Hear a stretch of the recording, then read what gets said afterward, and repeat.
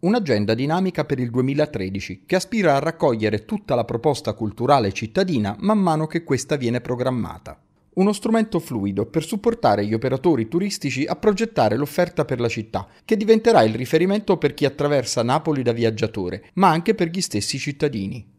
L'agenda è stata presentata questa mattina nella bellissima sala del capitolo del complesso di San Domenico Maggiore, promotore il comune di Napoli con l'assessora al turismo Antonella Di Nocera, alla presenza di organizzatori culturali e di operatori del settore turistico e alberghiero.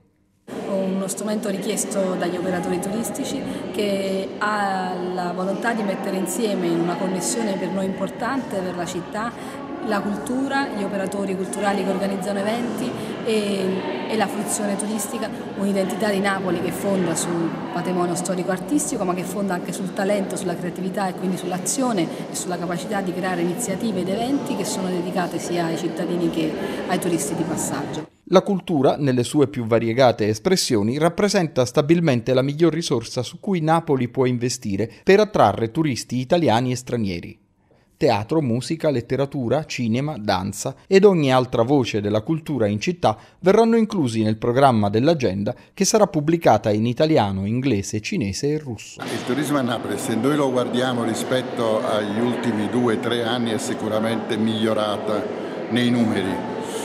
Purtroppo però è peggiorata nel, nei, nei, prezzi. Il problema principale, l'ho detto, è la vivibilità della città. Il turismo, io sono convinto di questo, è fatto di vivibilità e di immagine. La responsabilità è un po' di tutti, innanzitutto dei cittadini. Eh, oggi purtroppo Napoli, noi napoletani, non ci comportiamo da buoni cittadini noi ci lamentiamo della spazzatura, ma la spazzatura chi la butta per le strade? Ho voluto organizzare questo incontro qui a San Domenico Maggiore, eh, sito di eccellenza del nostro centro storico, un'insula straordinaria come tante altre che esistono nel centro storico che va sempre più valorizzata e per la quale insieme in una cornice di grande sinergia occorre trovare eh, gli strumenti per un'adozione della città e perché sia sempre più vissuta dai cittadini.